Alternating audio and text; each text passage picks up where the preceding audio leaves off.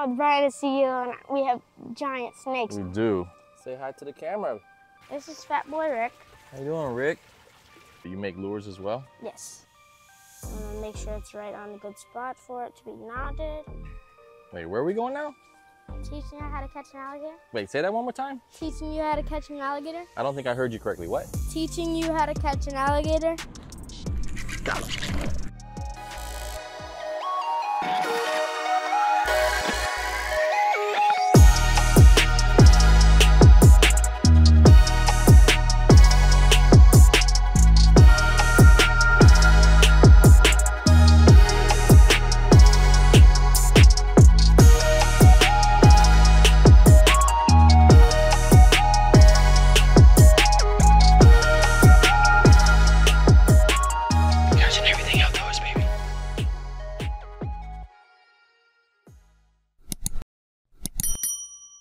If you're new to the channel, my name is Bryan, the CEO. I'm the host of CEO Fishing, and if you like the outdoors, fishing, camping, travel, and things of that nature, then make sure you hit subscribe and turn your notification bell on right now. Like, don't even wait. Just go click it because it's like literally like right here. There's a little button. I think it says subscribe. You can click that and you can subscribe to the channel right now and then turn on your notifications and you can become a part of the CEO family. But today we got a really good episode. It is loaded with reptiles and reptiles and more reptiles. And I even get to play with an alligator and a giant Burmese python. And that's it. I hope you enjoyed the episode. All right, I'm pulling up to the destination in just a minute here. How you doing, buddy? Who's that? You gonna speak? You look shocked. You get a handshake? What's your name? Who are you? Corbin, What's my name? Ryan, the CEO. That's right. You gonna help me film a show today? Yeah? You gonna be my what, tour guide? Yeah. Awesome. Let's do it. What's up, guys? Welcome back to another episode of CEO Fishing. That's Catch Everything Outdoors. And uh, I have a co host today. And would you like to introduce yourself? Yeah. My name is Corbin, and today we are in my backyard, um, and we're gonna see all the animals: What kind of animals are we gonna see? alligator, snakes, turtles, fish. Am I gonna get bit? No. Darn. Dogs. All right. Do you want to be bit? Maybe a little bit. When you saw me pull up, you kind of just froze. What were you thinking? Um. I don't know. You don't know? just like this right now? Yeah. Yeah. so you do recognize us, right? Yes. Or me, um, because I'm obviously you watch Monster Mike. Yes. Everybody watches Monster Mike. You gotta love Monster Mike. I appreciate you having me here, and you had mentioned you have a fish pond. Yeah. You're gonna show me? Yeah. Let's go. We're gonna go see a fish pond, guys. He's in my backyard. I, this is this is out. No. He's here for the company. What is the company? Native Village Rescue. Do you have a website? I think so. Yeah. Yeah. we'll get all that information for you here in a minute. So in my fish pond we have two big peacock bass, All right. a largemouth Let's see. bass, Let me put these nines over it. There they are. All right, so you got a baby alligator here. What's his name? Fat Boy Rick. Fat Boy Rick. Nice. Are we gonna meet Fat Boy Rick later? Yes. All right. Now we're going to the medium-sized alligator pit.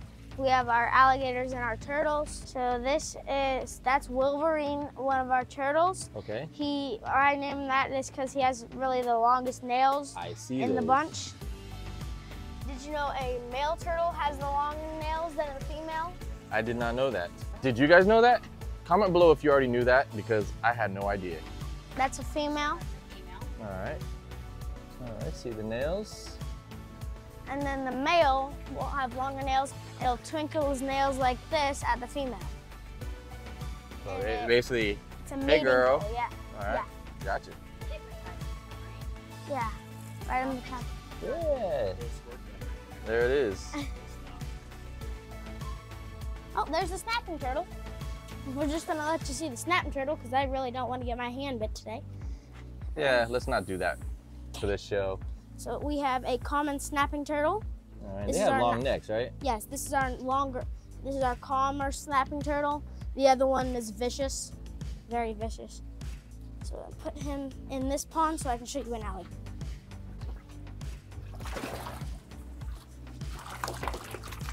My little friend.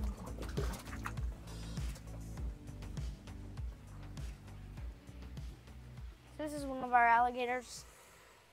You know the difference of telling a crocodile from an alligator besides from the nose? Tell me. Well, there's a few ways. All right. One, alligator starts with an A and crocodile starts with a C. Okay. Two, um, alligators have 80 teeth, crocodiles have 62 teeth. I don't want to get bit by either one of them. Okay. You can tell by when an alligator's mouth closes. They're strong for their size, huh? Yes. By when an alligator mouth closes, you can only see the top teeth Okay. pointing out. When a crocodile, you see all of his teeth, the bottom teeth, and the top. So crocodile smile. Yeah. And then another difference is crocodiles are a lot lighter than alligators. Like they look like a Color-wise. tan. Yeah. Okay. What are all these hard bumps on the back of the alligators? They're called scutes. They're called scutes. They use the scutes for like a solar panel where when the or when you when the sun's going down and they go up in the sun and that will attract the heat. It will absorb the heat for energy. So we have a Russian tortoise right here. You, want to mm-hmm. hold him? Yeah. What's his name? Vladimir. Sure. What's up, buddy? This is a redfoot tortoise. Redfoot tortoise. This is the normal size for him. We have one over there that's a um bigger. They're from uh, Madagascar. Madagascar. What's funny is that's in my head because I just filmed with lemurs and they're all from Madagascar. So in my head it was gonna be a joke, Madagascar, but it's true. So here we have an alligator snapping turtle. Alligator snapping turtle. That sounds extra mean. That looks extra big too. They really just sit on the bottom with their mouths open. They have like a tongue, Mhm. like a little tongue, and it looks like a worm. Okay. So the um, fish go after it. As soon as they bite that worm, slam shut. you gonna touch his tongue? I'm good. Back in the day, they were the size of this pit, right, Dad? If not bigger. Longer. Really? Yeah, hundreds of years ago, hundreds of thousands of years ago, these guys Uh, would prehistoric. be 10 foot across. They were massive. Wow. These are definitely prehistoric creatures, guys. They can get up to 200 pounds and even more in some cases. And they have a bite force, meaning how hard they bite down, of 1,000 pounds of pressure. So basically, they can bite straight through your bones. Back to the show. This is the what?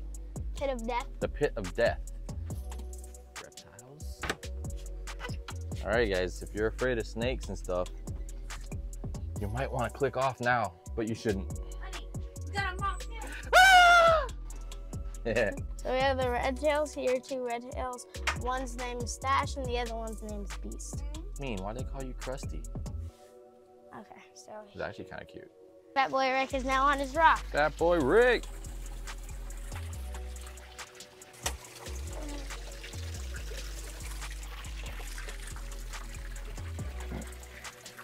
Hey, buddy. This is Fat Boy Rick. How you doing, Rick? Well, when he sees something moving on the water, he'll attack it. Yeah. He attacked the big um, Burmese python. Really? It was on the water, yeah. Very vicious, little sucker. You're a savage. You are a But th- that's that's why he's so fat. So we got birds too. Yes. All right. Parrots. Parrots. Hey, Lucy Lou. Yeah. Hey, Lucy. Hi. Hi. Beautiful birdie. This is Beautiful Loco. birdie. Loco? Are you loco in the cabeza? You're sneaking up on me like you're loco. This is Vulture. We call her Vulture because she'll spread her wings out and go. Yeah. "Wah!" Yeah, tell me So about this him. is our Burmese python. His name is Scully. We rescued him about 12 years ago, and me and him growing up together. We had to have special licensing, license, licensing, licensing. Licenses? me and him growing up together. If we spend enough time with him, he stays calm like this. Where if this was a wild one, I would have marks all over me. And they got some sharp teeth too. Yes, 118 of them. These um, snakes here take over the Everglades. That's why we have to have permits, and it took us a while to get them. because they are um, and they're invasive. So the, these are the ones that you guys see in the, the memes, not the memes, but all over the internet where they're eating alligators and stuff. These are the pythons that are doing it. There we go. Oh yeah. That is a heavy one. Say hi to the camera. Scully. Right there, kind of, yeah. There's a skull right there in the pattern. It's a big, healthy snake. Yeah, so they take these animals, the reptiles, to the schools, and uh, they can teach kids and adults how to uh, handle them, what not to do, what to do if you see them, and just get to interact with them. He is a strong. When this guy stays at our house, he has to stay under, well, you saw lock and key. Yeah. In two locked rooms and then in another lock. Right, and that's per the licensing and everything. Yeah. Because the fear is that these guys get out and they eat local pets and Yeah. they just they breed fast too, right? They do. They can have anywhere between 100 to 300 eggs at one hmm. time. A hundred to three hundred eggs at once. That is crazy. Hanging out with Bryan to see you, and we have giant snakes. We do. Look at this. We're the coolest people on the planet right now. You know that? Yeah. Man, that was fun. I like interacting with snakes and other reptiles and stuff like that. I grew up with uh, animals and I enjoy being able to have experiences like this with other people and being able to share it with you guys. So hopefully I can do this more. So if you've got animals or know people who have some really cool animals legal, let me know and maybe I can link up and play with some cool critters. In addition to knowing a lot about animals, Corbin has other skills as well. He's going to do something for me and then we're gonna go test it out. And after that, I'm gonna be playing with some alligators. So stay tuned, do not click off, and enjoy the rest of the show. So not only do you know everything about animals, but you make lures as well. Yes. Here are the lures that are already made. Very nice.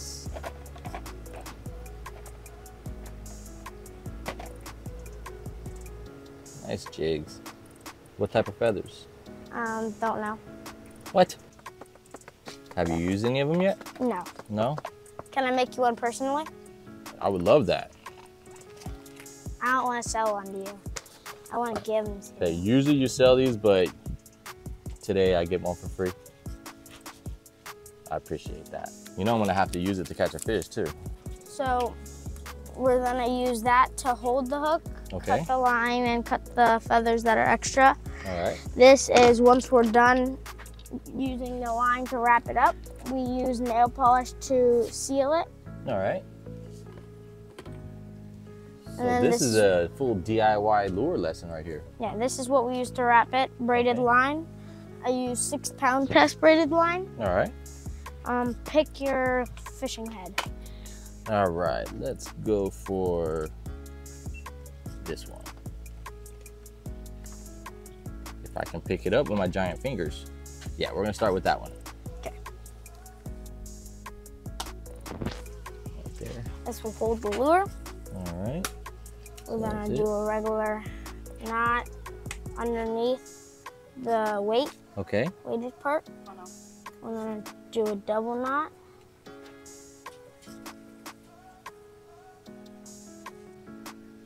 Pick your feathers. Pick my feathers. Let's go with a couple of the orange, the these, and this one here to give it some flash in the water. Or, you know what? Let's go with the old school gold Rapala color.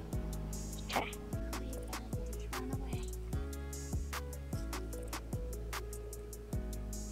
That's about good. Yeah, that's good. Right now I'm just wrapping it, keeping it wrapped. I'm gonna make sure it's right on a good spot for it to be knotted. I'm gonna pull that and do that one more time. Is this gonna be on your channel, this video? Yeah, but some of them I put on Mike's channel too. Like my snakehead video, I just put on his channel. So I'll, you put this one on his vi- I might put it on his channel too. Yeah. okay. Because I've I, I don't even know about your channel. Yeah. he doesn't know about my channel. You can pick your nail polish. Coat a silver sparkling. It's clear, but with sparkles in it All right. of silver. So it'll still show the pink when it dries. It will just have sparkles all over it now. We'll test it out. Especially with the professional fishermen. Professional. I'm just a YouTuber. You know what I am? I'm just somebody who loves fishing. I don't care if someone holds the fishing rod upside down. If they're having fun with doing it, I'm gonna support them 100%. And then try and teach them how to do it the right way. Got the jig here that he just made me, and we're gonna try and catch some fish. Try to catch that right there. How aggressive is he? Ooh, it casts good.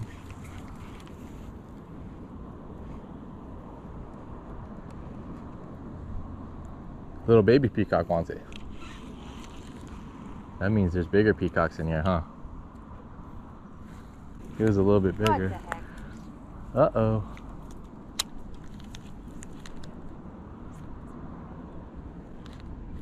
Got him. This one you're not coming off. Yeah, I got him on your jig. I don't quit till I get. Oh, look at all the friends coming to eat them. There it is. Right there, guys. Look at that. On his jig that he just made me today. Got a peacock bass. Beautiful male. Got a double up too. Look. She's on over there. So let him go. See if I can get another one. And you're off. I was able to use the lure that he just made me to catch a fish, but now it's time for me to catch an alligator. Check it out. Wait, where are we going now? Teaching you how to catch an alligator? Wait, say that one more time. Teaching you how to catch an alligator? I don't think I heard you correctly. What? Teaching you how to catch an alligator? He said he's teaching me how to catch an alligator. Let's go. All right, guys. Apparently, there's an alligator in this water by my feet somewhere. They want me to catch it. So I'm gonna listen to the instructions that were given to me. I'm gonna move my feet until I can find the alligator. And then you said lift them up, Yep. You wanna grab the tail, and then slide my hand under his armpits, just like that. We have a gator. Now, it's got the tape on, so that's why I'm not too nervous. And you know, we always gotta take precautions because I'm not trained in actually doing this, and we're not taking any risks today. Get in here with me. There we go. It is. Got a gator. Travis at home. Yeah, guys, don't try this at home. And I believe FWC down here doesn't allow you to even mess with the gators, right? Yeah, I learned that the hard way. No matter what your skill level is in dealing with these animals, you always have to take precautions because at the end of the day, they are animals and uh, you can never be 100% sure that they're not going to do something. Did I say that right? Yeah. Okay, I'm trying to sound smart here. Say hello to my little friend. I've handled a couple gators in my life, but not too often. Had one in the middle of my neighborhood when I was about your age. And we're talking about we're a mile and a half away from any water, and it was just in the middle of the street. So we went out, saved it, put it in my toy box until we could have someone come get it because the kids were throwing rocks at it. Sure. So, you know, like I said, my uncle, I've been around reptiles and stuff since I was a baby. And uh, How long was it? Long um, was the honestly, it was maybe a little bit smaller than this guy right here. So we didn't want the kids throwing the rocks at it. What was the biggest alligator you've ever like handled, like touched and pet? Um, just a little bit bigger than this one. Yeah, like I said, I haven't done it very often. The You biggest know. thing was a 10 footer, I think, chili. Yeah, you're braver than I am. With the eyes, they have three eyelids. Three eyelids. Yes. One that goes down, one that goes up, and that just closes their eye. And then when I close their, this eye right here, and then when I open it, wait, what is that? See how that came over? Yeah, here, let me That's his see if I third eyelid. It's the water type. Yeah. It's put it right there. There it is. it's like goggles for them. They have built-in goggles. I think you just saw them blink right there. Grab the front of the jaws with that right hand. Throw that tape down. Grab the jaws. Take Okay. your other hand off. Left hand off. Move out of the way, Corbin. Come straight out. No, straight out. Straight out from the gator's jaw. There you go. All right. And Come on. never Put your hands on the side. So I'm gonna set him right over here, and you're good. I just played with an alligator, guys. Thank you. Yay! My name's Ian Tyson. Uh, we are Native Village Rescue. Uh, we've been a nonprofit organization since 2019. Uh, Native Village actually started off in 19, late 1970s. It's on the Seminole Indian Reservation and was started by the chief of the Seminole tribe, James Billie. And it was a cultural center that they taught people about not only Native history, but the culture of how all of the animals helped the, the Seminole people to survive over the years, it's been so much more. It's been educating kids, teaching um, different cultures to so many people around the world that used to come to that location. Um, I guess it was about 2010, 2011. Things changed a little bit, and Native Village kind of became a more of a traveling show where we went around and started teaching. We didn't have a Okay. location anymore. Everything came back to the house. We started doing things in the house and kept costs down at a minimal, um, and started realizing that a lot of people had no place to surrender their animals to. Yeah. So uh, we started saying, hey, you know, we'll take the animals, and then what we try to do is find people who want the animals, are willing to take care of And them. And we'll take care of them properly. Right. Yeah. So we get them out to them. All right. know, and my son, he's been a part of it uh, since he was born. Me and my wife clicked off with the animal business. Um, she worked with horses all the time and, and was just amazing with it. And she was like, you know, we're a rescue. We should become a nonprofit organization. and that's what we did. So we go around a lot of different places. A lot of different cities have us come out. We Okay. do a big setup where we get a chance to teach about all the different animals that are both native and non-native to Florida Okay. um, and and realizing what is involved with taking care of these animals because so many people get an animal and they're like oh my god it's so cute They just have to feed it, and that's it. right Yeah. they think it's a cute little sulcata tortoise they get at the pet store and then you know 10 15 years later this thing's weighing 30 pounds and tearing up everything in their yard Yeah, yeah. so um, that's what we do so we go around we teach we educate Okay. um, and we try to explain to people hey man we've got to take care of this planet Yeah. this planet if we got to take care of the animals that are here don't just release them make sure you know what you're getting and if you want to give something up reach out to a rescue that will take it and find a better home for it Don't just take it out And and, dump it it on the side of the road. Yeah. That's Worst why thing the you do. pythons are here. So, worst thing you could do Yeah. It's already Is it dry? It's dry. My fly is dry, guys. Check it. He made me my Fly own dry. custom fly for jig. And you know what? I'm gonna cast a peacock bass on this thing. You think I can? What's the name of your jigs? My my the name of my jigs is Jerkum Jigs. Jerk 'em jigs. I like that. if any of you guys are willing to donate help us take care of these animals or make better habitats we're working on different filter systems at the house everything's personal also reach out to the schools we're um, broward county approved licensed insured for all the animals that we've showed you here today and um, we make things happen do special events birthday parties educational programs teaching the schools teaching law enforcement how to catch different animals Okay. and uh, we do all kinds of film work as well whatever right. we can do to get the word out Beautiful, beautiful. Now, you have a website? uh, the website is Village Rescue. Native Village Rescue. There you And go. It's in the Is link that it? below. Just that's it. Okay. Yeah. And So I'll put their Instagram and the website down below. Um, and then from there, you can explore and find out how you can donate to help their cause. Service hours. Anybody that needs service hours. The volunteers. We always need volunteers to help us to go out and teach. You want to work with animals and learn about this stuff. That that's that's an awesome thing. Sponsorship for different events in your city. You know, we, we definitely take it in. LaSpada's is one of our big sponsors that helps us out all Nice. the time. Nice. Yeah, they got great hoagies. yes, they do. You think we should give Mike a challenge? yeah. You think he should come here and hold like a snake that's bigger than him or hold a, an alligator? I think it'd be funny to watch him catch an alligator. Yeah? All right, Mike. I also want to do a challenge with Monster Mike that he can't catch a bigger bass than my lure. I didn't even think about that. He just came up with that on his own. Mike, you have truly been challenged. So, uh, yeah, so let's, let's see if we can get Monster Mike out here and um, have some fun with some animals, and then we'll, we'll, we'll set it up where we can actually go fishing. We'll do let him hold a couple critters, and then we'll go straight Fishing there. where I can see the challenge. So you can see the challenge. So, Mike, he's going to catch a bigger fish than you. I always do, so, you know. I had so much fun hanging out with them today, and I can't thank them enough for having me over and showing me the different animals that they are handling and taking care of. If you guys want to see more content like this, let me know in the comments. You know, just drop a comment. Let me know if you enjoy this type of video and what else you want to see me do. The boat is pretty much done, so we're about to get out on the salt water and start catching snook and snapper and all kinds of fish. But again, if you enjoyed the content on this channel, if you enjoyed this video, I have a lot more like this and I have a lot more coming. So hit subscribe right now. You can click that thingy right there and then turn on your notifications because it will help me out and I would greatly appreciate it. Until next time, guys, keep your head up, keep moving forward in tight lines. Zzz.